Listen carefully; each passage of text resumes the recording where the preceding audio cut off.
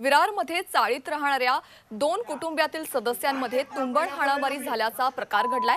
विरार पश्चिमेकडील गावठण परिसरात असलेल्या हाजी युसुफ चाळीत राहणाऱ्या गावठे आणि सेलिया या कुटुंबांमध्ये जुना वाद असून दोन दिवसांपूर्वीच दोघांमध्ये चाळीतील जागेवरून पुन्हा एकदा भांडण झालं.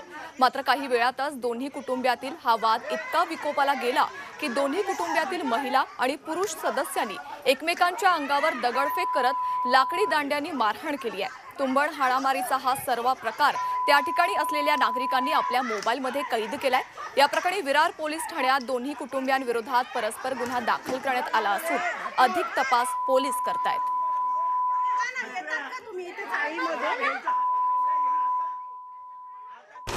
लाल मातीतली कुस्ती. म्हणजे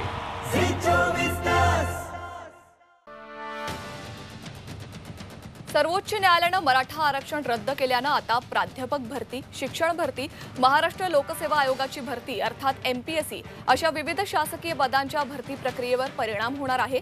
त्यामुळे शासकीय पदाभरतीसाठी प्रयत्न करणाऱ्या लाखो उमेदवारांना प्रतीक्षा करावी लागणार आहे.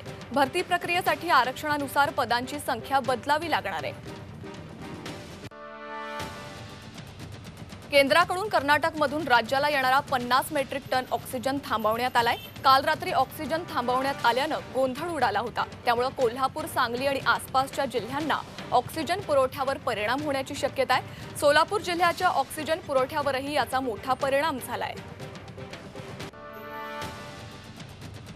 मध्य आणि पश्चिम रेल्वेनं तयार केलेल्या कोरोना आयसोलेशन बेड्सपैकी बहुतांश बेड हे वापरलेच नाहीयेत. राज्यात पालघर नंदुरबार नागपूर या तीन जिल्ह्यातले तीन डबे हे वापराविनाच पडून आहेत. तब्बल अठ्ठ्याऐंशी टक्के डबे हे वापराविना पडून असल्याची आकडेवारी समोर आली. त्रेपन्न डब्यांमध्ये नऊशे बत्तीस बेड कोविड कोविड आयसोलेशनसाठी वापरला वापरायला यायचे. भांडूपमधील सनरायझर रुग्णालयांना लागलेल्या आगीच्या दुर्घटनेला दीड महिना होत आला तरी अजून चौकशी अहवाल सादर झालेला नाहीये. त्यामुळे मुंबई मनपा स्थायी समिती बैठकीत नगरसेवकांनी प्रशासनावर ताशेरे ओढले. त्यातच चौकशीची जबाबदारी असलेल्या उपायुक्तांनाच कोरोनाची बाधा झाली आहे त्यामुळे चौकशी अहवाल येण्यास विलंब होत असल्याचं स्पष्टीकरण यावेळी प्रशासनानं दिलंय.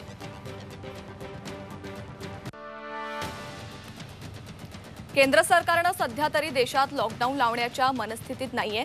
कोरोना संसर्गाची साखळी तोडण्यासाठी केंद्र सरकारनं राज्यांना मार्गदर्शन सूचना जारी केल्या आहेत. पुढच्या काळात आणखी कडक उपाययोजनांची गरज पडली तर त्यावर आधी चर्चा केली जाईल असं नीती आयोगाचे सदस्य डॉक्टर व्ही. के. पॉल यांनी म्हटलंय. विठू माऊलीचा गजर म्हणजे